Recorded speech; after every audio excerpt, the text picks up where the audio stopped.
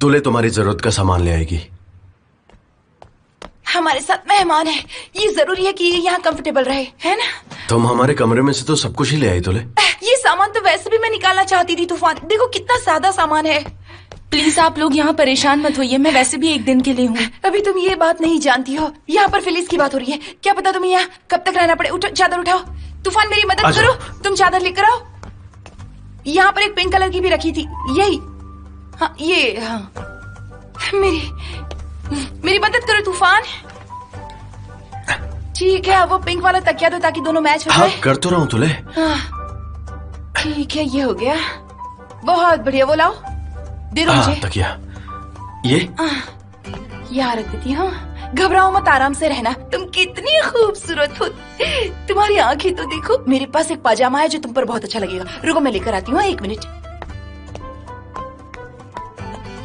कहाँ रखा था कहाँ रखा था मैंने? हाँ ये रहा। आ, साटन का है। देखो तो जरा पहन कर देखो। हाँ? कैसा लगता है देखो तो? घबराना मत हाँ? सब कुछ सब कुछ ठीक हो जाएगा हाँ? चिंता करने की कोई बात नहीं है। अब हमें सुबह शाम से देखना पड़ेगा पता है ना? अब हमारे घर में एक मेहमान है तूफ़ान। हाँ ठीक है। जरा यहाँ आना तूफ़ान। गुड नाइट गुड नाइट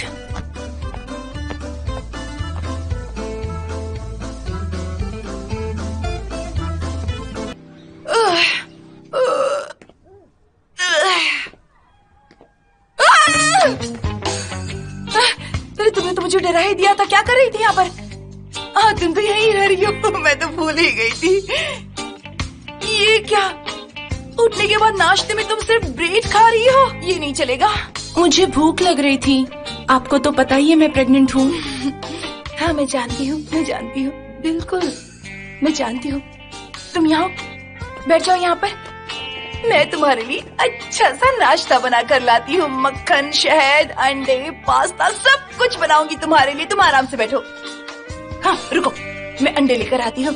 बेहतर रहेगा अगर मैं पहले अपना मुँह धो लूँ।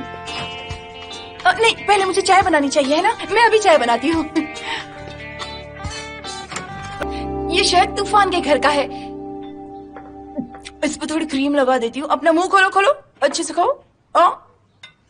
तुम्हें अच्छे से खाना खाना चाहिए। मैं ठीक कह रही हूँ ना तूफ़ान? और नहीं तो क्या? ये सब तुम्हारे लिए ही है। अच्छे से खाओ ठीक है? तूफ़ान भाई आपकी वाइफ बहुत ही अच्छी लगती है मुझे। तुलेती बहुत प्यारी है। अपना मुँह खोलो। थोड़ा दूध पी लो। कैल्शियम। कैल्शियम बहुत ज़रूरी है तुम दोनों के लिए। डार्लिंग, तुम उसे मत खिलाओ, उसे खुद से खाने दो ना। वो खुद से खाना खा सकती है। सही कहा ना मैंने?